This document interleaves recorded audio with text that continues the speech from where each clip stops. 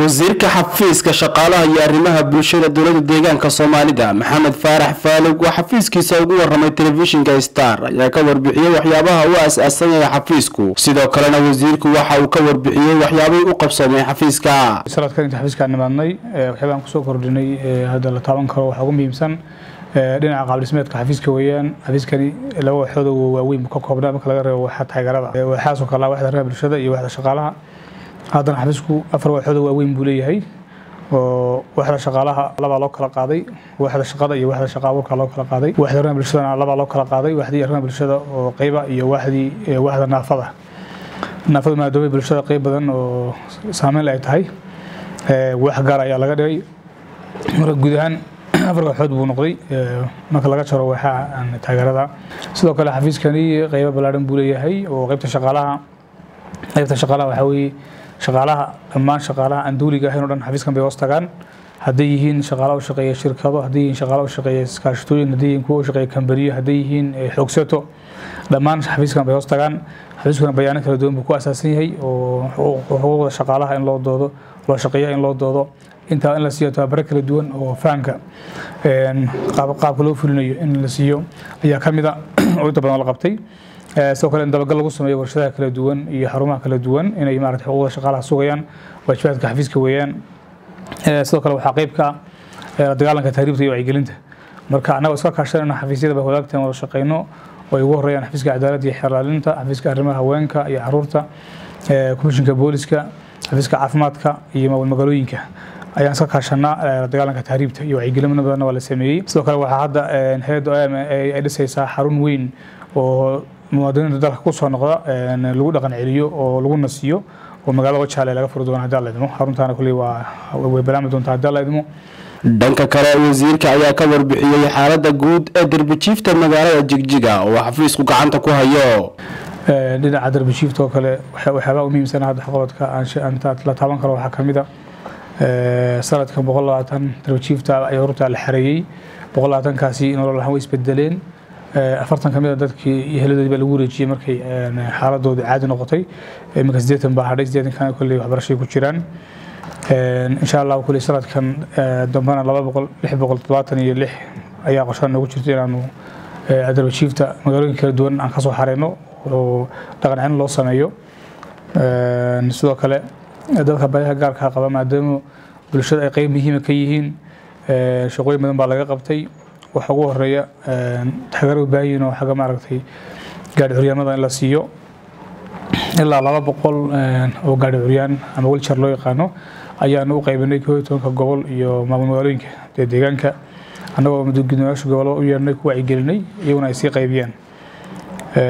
Taas waxay taas waxay fududeynaysaa fahamka xafiiska laga haysto iyo waxqabadka bulshadu inuu meel walba gaadho sidoo kale waxaa shaqeysa xarunta naafada shaqeysa. Xarunta sannadkii labaad shaqeynaysa. Ilaa haddana saddex boqol iyo konton qof baa adeeg u fidisay adeegyadaas adeegyo kala duwan oo isugu jira. Dad lugaha loo geliyey kuwa gacmaha loo geliyey kuwa intaba loo geliyey waxaa xusud mudan in hadda ka hor adeegan loo dooran jiray laban sano wixii ka horreeyey magaalooyinka oletosoda ama adisaba marka qof ka yimaada wardheer hadduu adisaba tago ama ka yimaada fiiq adisaba tago fogaanta ku qaadanaysa waan garanayna intay la eg tahay. Kharash badan uu ka bixi jiray saa daraaddeed xukuumaddu way ku mahadsan tahay xarunta inay hirgelisay adeeggaa fiican baan laga helay. Dadka naafada ay ku nasteen. Sidoo kale shaqa abuur baa loo sameeyey dadka naafada. Afartan sanadkan bilowgiisii afartan qof oo dadka naafada ayaa seminaar harqaanka sida loo bartaa la siiyey afartan harqaan baa lagu wareejiyey. Afartan harqaan bay ku shaqaystaan. Marka waa qeybta shaqa abuurka wey dad shaqa loo abuuray weyaan sidoo kale waxaa hadda xareysan oo kuliyadda farsamada magaalada jishiga ku xareysan soddon baa ku xareysan soddonkaasoo isugu jira labayo labaatan baranaya harqaanka iyo sideed baranaya sida telefoonada loo hagaajiyo.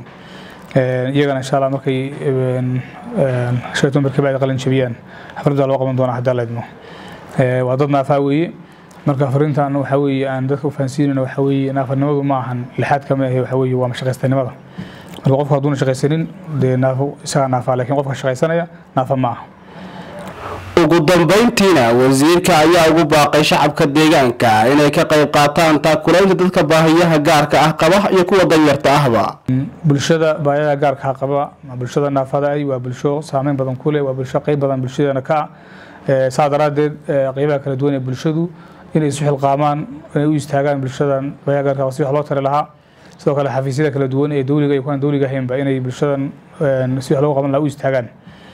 Waxaan bogaadinaynaa kulley ashkhaas kala duwan oo waxaa jira u istaagay oo hadda dad badan wax taray baa jira oo gaari cuyaano ama iibiyey ama mootooyin iibiyey ashkhaastaasi macnaha dhiirigelin bay mudan yihiin. Waxaa ka mid a goboleeda siman siman cilmi baa ka mida cabdi baaruud baa ka mida ayadan anfac baa ka mida marka way badan yihiin.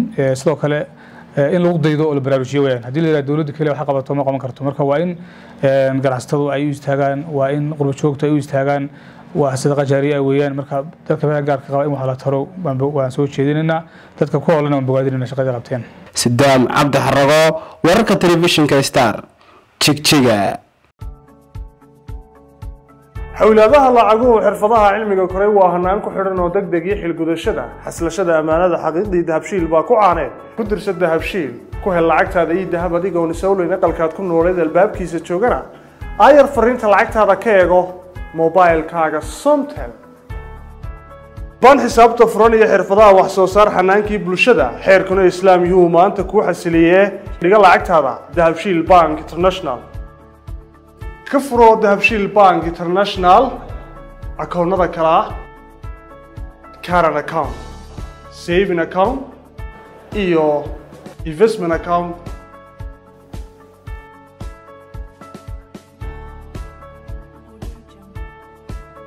Ku xidho akoonkaaga dahabshiil bank international adeega casriga ee edahab adigoo isticmaalaya mobilkaaga somtel waxaad adeega edahab lacag ugu diri kartaa akoonkaaga lacagna lagaga soo diri karo.